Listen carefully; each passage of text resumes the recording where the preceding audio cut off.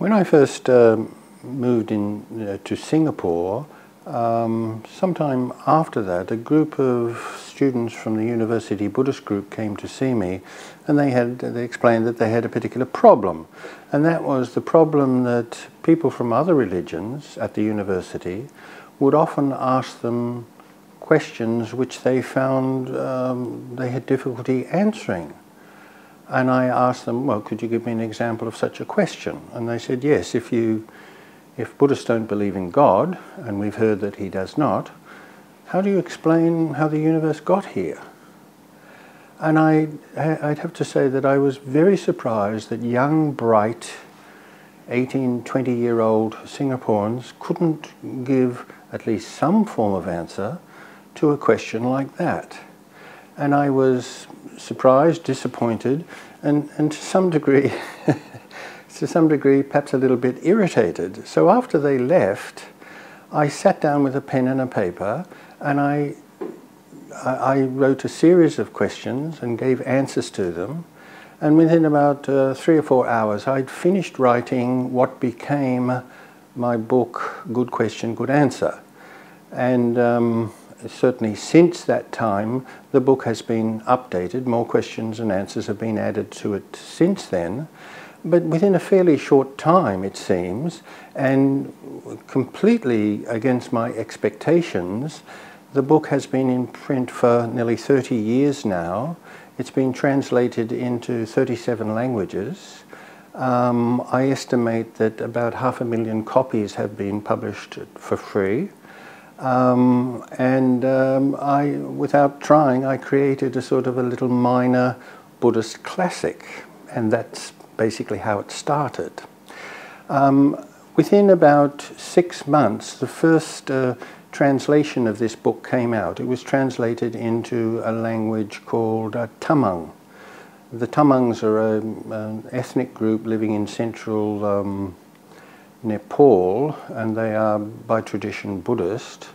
And the person who translated it um, told me that it's so far at that time, that was in the late 1980s, was the only book on Buddhism ever translated into their language.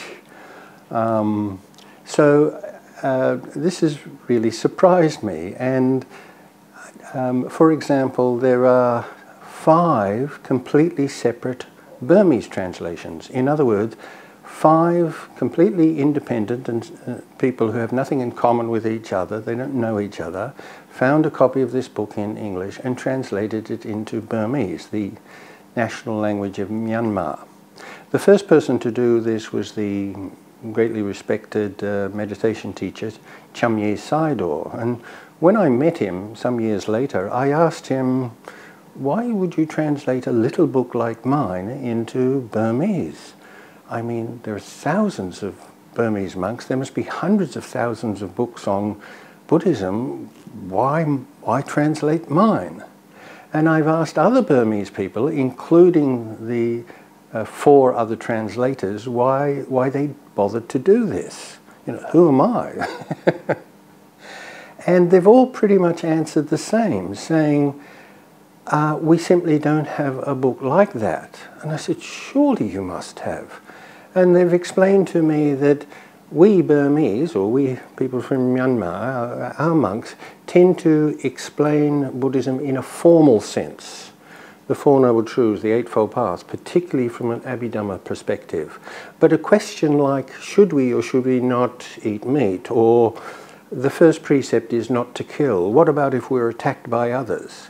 Uh, and we have to defend ourselves or we're family. Apparently, and I'm only explaining what Burmese people have told me, Questions like that simply are not generally asked of monks by people. And consequently, there are five different translations of this book. Then um, there are things like, um, quite apart from being in Burmese, there are two translations in regional Burmese languages. Uh, one is called Chao Chin, which is a, a, language spoken by people up in the mountains in northern Burma, and the other one in, in Shan. So in a sense, there are, uh, the book is in three Burmese dialects, which I'm, I'm very happy about. I'm really glad that people in Burma have got a sort of a slightly different perspective on the Dhamma. In African languages, there, I believe, there are two. I have been told that the book is in Afrikaans, but I can't verify that because people have told me, but I've never actually seen a copy. But it's also in Swahili, which is the major, it's the lingua franca of uh, Kenya and, and Uganda. And then um, it's also in two versions of Portuguese, Brazilian Portuguese and Standard Portuguese. Once again, I find it fascinating that somebody would bother to do that. The most unusual language it is, is somebody once uh, contacted me by email and asked if they could translate the book into, uh, into their language. And I said, yes, certainly. Well, which country do you live in? They said, Spanish. I said, it's already in Spanish. And he said, no, I, am a Catalan speaker. Now, until that time, I can't say I'd ever heard of Catalan. So there is a Catalan version. Um, and I've often asked myself, what is it about the book that has made it and given it so much appeal? And uh, this is the conclusion I've come to. First, the book has got virtually no technical language in it at all. There's, no, there's almost no Pali or Sanskrit. And uh, the second one would be it's not too big. I think sometimes people pick up a big book on Buddhism, the average person, and maybe when they see that there's 250 pages, they think, mm, that's not for me.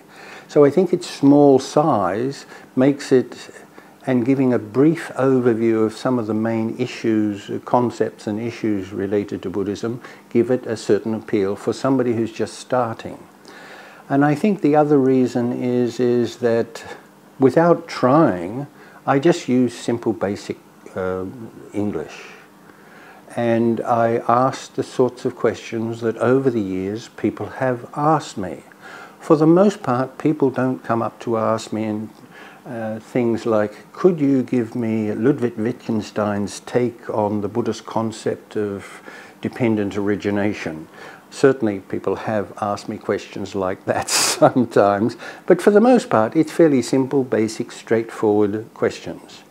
So um, I think that's the reason for the book's appeal. So apart from being in at least 37 languages, uh, it's also the case that there have been, I think, about nearly 100 editions of the book in English.